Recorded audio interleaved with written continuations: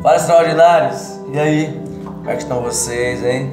E aí, esse sabadão, tá fazendo o quê? Tá curtindo, dando uma curtidinha, tomando uma cervejinha bacana, indo no shopping, tomando um sorvete, indo ali um açaí bacana. Isso aí você merece. Você é merecedor, cara. Você é merecedora, tudo certo.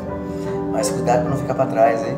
Porque você tá aí tomando um sorvetinho, um açaí, passeando e tal, tem pessoas se especializando para tomar o seu lugar. Então se tornou extraordinário. O que é se tornar extraordinário? Cada dia está estudando, se elevando aonde você realmente atua. Familiar, pessoal, é, amorosa, é, relacionamento, tudo, envolve tudo. E faça sempre a seu melhor, seja sempre o melhor, independente do que você faz. Faça o melhor. Se você não está gostando, fazer o quê? Foi o que você escolheu para você.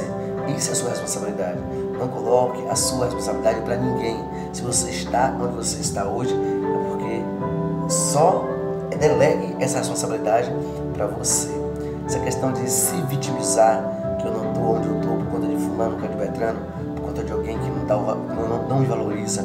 Sabe quem me valoriza? Sabe quem valoriza o extraordinário? Sabe quem valoriza aqui? Sou eu mesmo, Adenildo Silva. Se torna extraordinário, prende a sua mente para as coisas negativas e eleve ela para as coisas positivas. Então, um final, um excelente final de semana para cada um de vocês.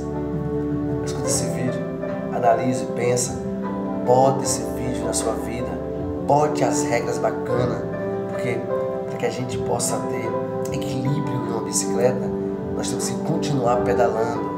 A mesma coisa na nossa vida. Se você quiser ter sucesso, pedale, pedale, pedale, pedale. A corrente quebra, a catraca, a catraca ela trava, mas fica tranquilo, conserta a catraca começa de novo. Mas não pare, sem, sem parar, enferruja. Se você enferrujar, você trava, morre e acabou. Trace metas gigantes, eleve, se eleve sempre. Mostre que você